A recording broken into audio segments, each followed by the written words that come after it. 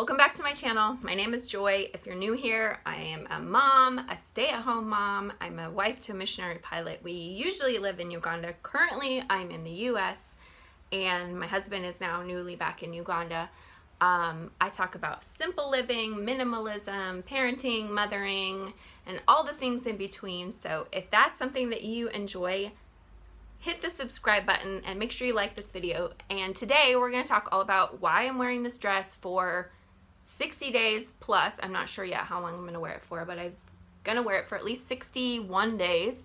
And um, why? Why in the world would I do that? And we're also going to talk all about how to pick, how to find what you actually like to wear because you don't have to wear a dress um, and you don't have to wear one thing either, but I want to talk about how I finally figured out what I actually enjoy wearing and what I'm going to continue to wear when I discontinue wearing the one dress. Okay, so that's going to be all the things. But first, I want to answer a couple questions. So, if you don't care about my personal life and don't care about any of the things, um, go ahead and look in the description box. I'll have a timestamp of when I will actually start talking about the dress and how you can pick what you want to wear.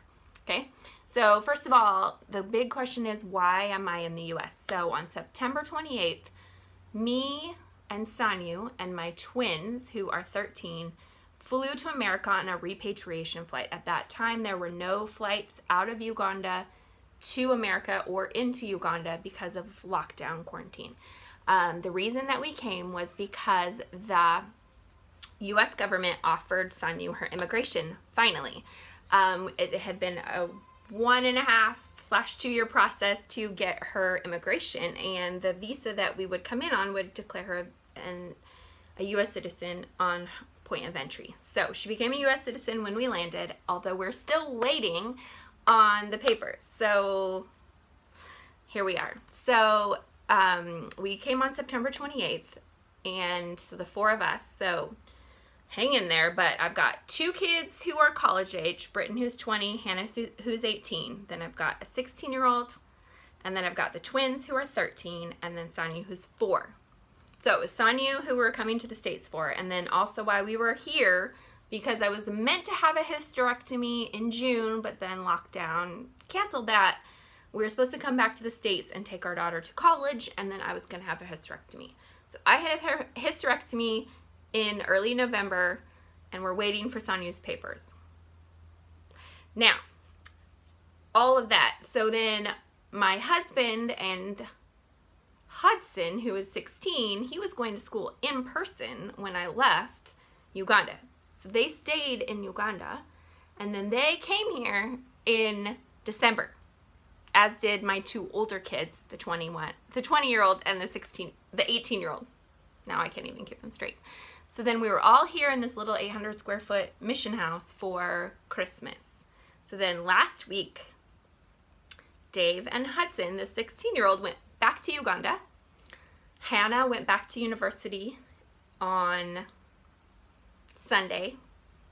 So now we're just down to me, the twins, Sanyu, and then Britton is here, which I will tell you more about what he's going to do, but he's no longer going to university right now. He was going to go back in the future, but he's doing something pretty exciting. But I want to wait until he shares the news before I tell you what he's doing. So, is that clear as mud? So, if you wanted to know about my family, there you go. You can know about family. Sorry, this hair is really bothering me and it's gonna make me crazy the entire time. Okay, there we go. Nope. I used some oil on my daughter's hair and I happened to like rub my hair so now it's greasy. So now it's gonna do that. Okay, so here's the point. Timestamp 420. 420. Okay, all about the dress, about the dress. Um, so this is a dress that I thrifted in November and I thrifted it because um, Jennifer L. Scott of the Daily Connoisseur, who's also a friend, um, had this dress. And I was going to do like some classy B-roll for you, but I'm not that talented. So here's the dress. It is a Graham & Spencer dress, and Jennifer L. Scott had had it in her wardrobe for, I think, two years. And I've been constantly looking to see if I could thrift it. Well, I found it. I thrifted it on ThredUp, and yes, many of you have said the price I got was crazy. I need to find the actual transaction and post it here. I think I will.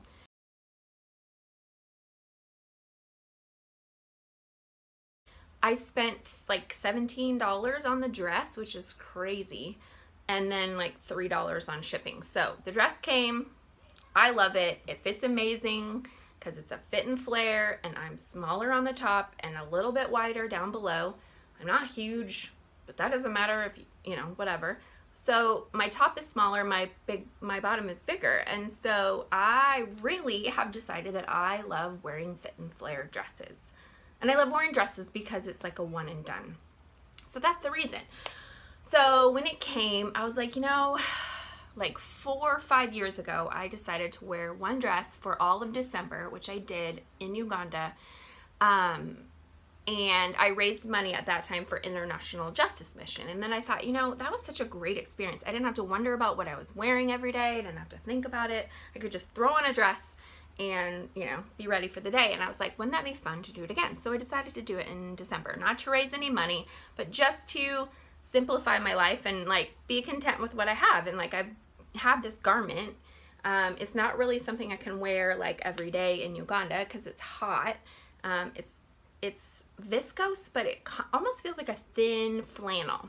So it's not something I'll be able to wear. I will break it out for Christmas Day for sure in Uganda um, and wear it for that. So I'll keep it forever. But anyway, I just decided I wanted to get a lot of use out of it. And you know, they, as I said in my last video, they say that 30 wears is the appropriate amount of wears for you to get the life out of a garment that you purchase. But then even if then you have a garment that you purchased secondhand, it's already had a previous life. So 30 wears would be excessive, right? If it's already thrifted. So my idea was, hey, if I can get 30 wears out of this dress, um, then wouldn't that be awesome and cool? And also just thinking about my contentment. Now, as I said in the last video, we were quarantined, locked down in the US. We also had COVID, so I've pretty much not been anywhere, but I still wear the dress every day.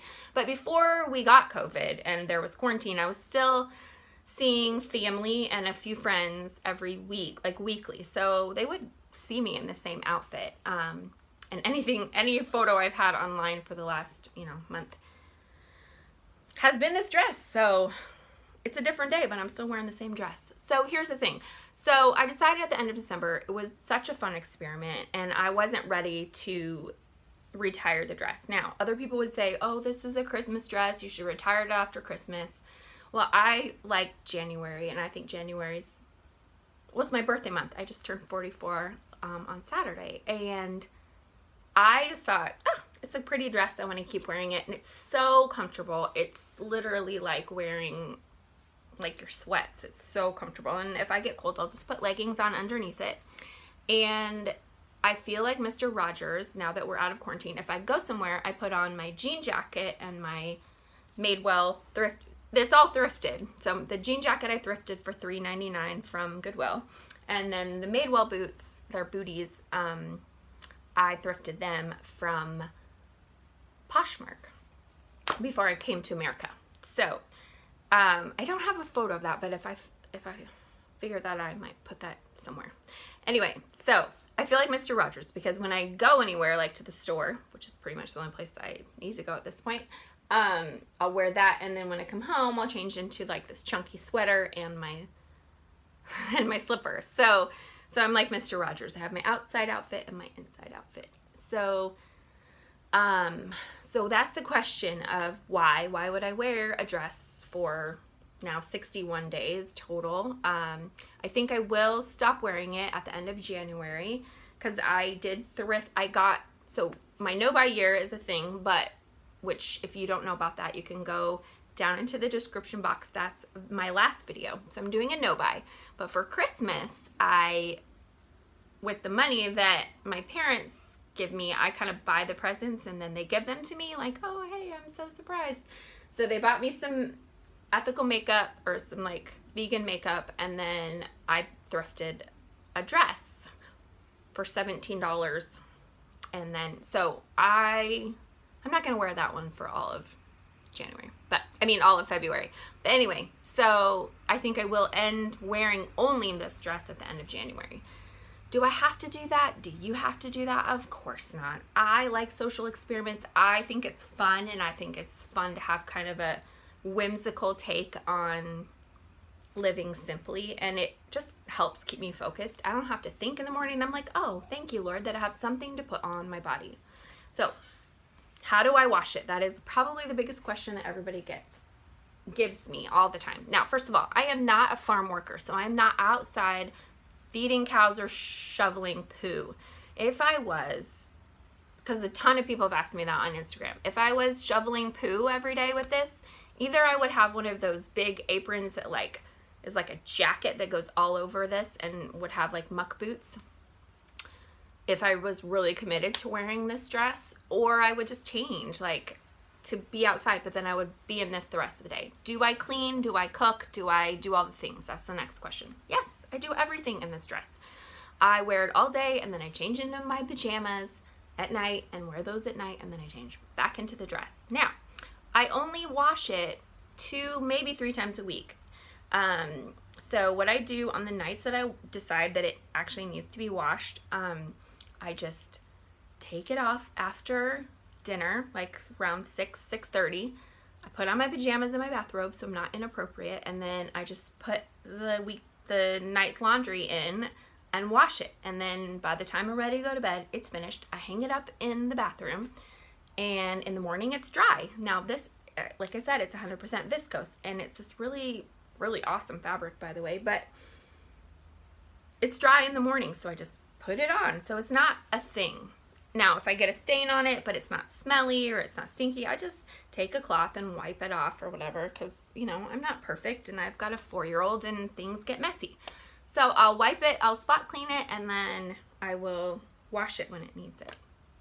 So that's the thing.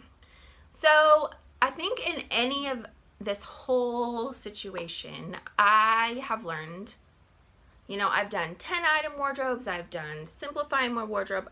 I've got a lot of videos about wardrobes if you want to go back. in fact, let me just leave, I'll just make a playlist and I'll put it in the description box.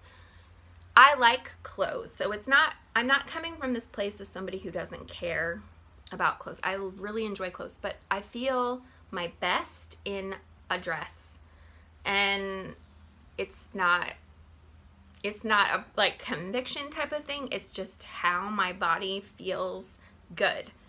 Most of my friends here in America while I'm here, they wear the cutest little like hoodies or vests with you know boots and skinny jeans and that works for them i think that's great i'm i am not here to judge anybody else's wardrobe as much as i hope nobody else judges mine so so how can you decide what you want to wear and what's in your closet? So, and I'm going to make more videos about this because it's something I've really thought a lot about because I think honestly as women, as we're trying to move towards simplicity, with the end goal of eternity in mind like this this stuff doesn't ultimately matter right i'm trying to live simply so that i can focus on eternity so it's not about how many items I own or being a minimalist, but it's about how can I live with less, focus on Christ, and give more. That's my entire focus. So I've just come to the point of I actually do not like wearing pants. I don't like it. I don't like wearing them at all. And I also, I bought a skirt when I came to America and I decided I hate wearing skirts because they're like really tight around my belly and then I have to figure out what to wear on top and I don't like it. So what I've decided is I am just a dress girl and it always has to be a fit and flare dress.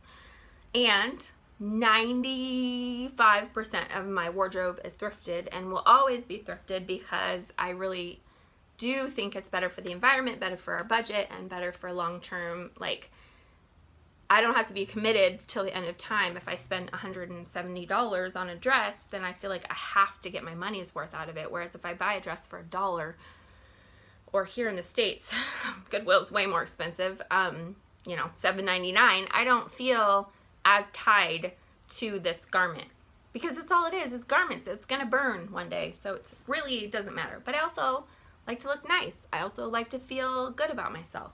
So it's always going to be a fit and flare dress for me.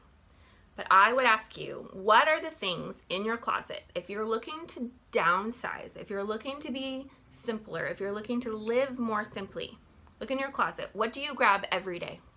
What is the thing that you always love to wear? What is the thing that you can't wait to come out of the wash? And what things do you almost never wear? And not just like the thing, you know, that you're saving for a wedding. Like those kind of things need to sit in our in our closet. But if there's something that you think, "Oh, one day I'll wear that," either because of size or style or fit or whatever it is, why are you keeping them? You know, I mean, so I think that the ex so I think the best experiment would be to do this. Go for 2 weeks if you can without washing your personal clothing. For me, I couldn't do that cuz it's one dress. But go for 2 weeks without washing any clothing. At the end of 2 weeks, wash exactly what you wore for those 2 weeks and then put into a box everything else that you didn't wear and then see if you ever reach for it. So if it's a special occasion dress, it will still be there. You don't have to get rid of it. I'm not saying donate it yet. But if it's things that you literally never wear and don't care about and will never wear, why is it taking up space in your brain and taking up space in your closet and taking money? Because you might think, oh, I need more of those things you know, whatever it is that you never wear in your closet.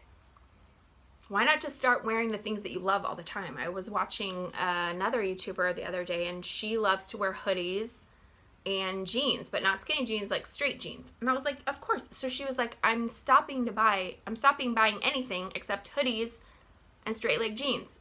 And I was like, yeah, obviously, that's what we need to do. Pick what you love to wear and wear it. Wear the thing. Okay? So tell me in the comments, do you have a thing that you like to wear? What is it?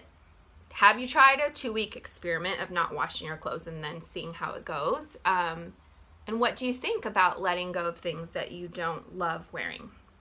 Again, for me, it's always like I'm literally getting rid of everything that is not a fit and flare dress. Now, caveat, and as many of you know, my husband does like me to wear jeans, so on a date night, so I talked to him all about this. He loves me wearing dresses. He likes my dresses, and I've specifically picked dresses that he enjoys me wearing.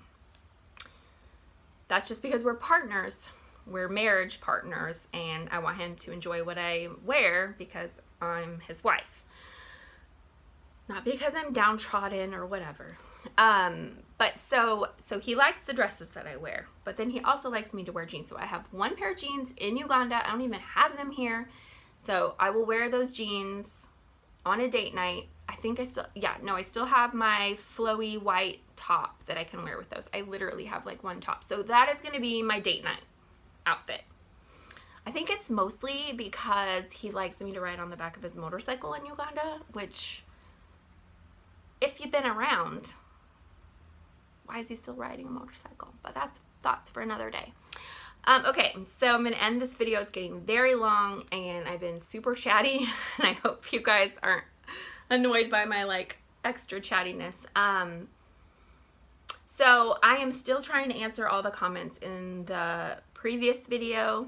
I just hang in there with me. I try not to be online a lot. I try not to have my face in front of a screen. It's been something that I'm very passionate about. So if I take a while to answer you, or if, even if I never answer you, it's not because I don't love you and I don't cherish you and I haven't read what you've said. It's because I really, really, really desire to look back and have no regrets. And up to this point, I haven't. I feel like my most important things are my most important things. And then, as much as I love people online, it's not the most important thing. Um, my family is. Well, God is, but then my family. So real life is always going to take precedence over online. And while I love you so, so much, um, it's just to have to be that way. So thank you for being here in my mess and all the craziness. I hope that answered questions of the dress and how you can figure out what you want to wear leave me a comment below of the things I asked you before and any questions you have about the dress and how it works and all the things. I will again leave um, the description of the dress and the size and all the things down in the description box and um, yeah let me know and go ahead and subscribe like this video comment if you this is the kind of thing that you like to see because I actually have fun doing these um, and I hope to keep making them for you. Next time is going to be more of a Q&A about the no buy. And then I've got a couple, well, I have a lot more videos, but I don't want to speak too soon. So we'll see what comes next. But I've got a lot of ideas and I'll see you soon. Have a great day and God bless you.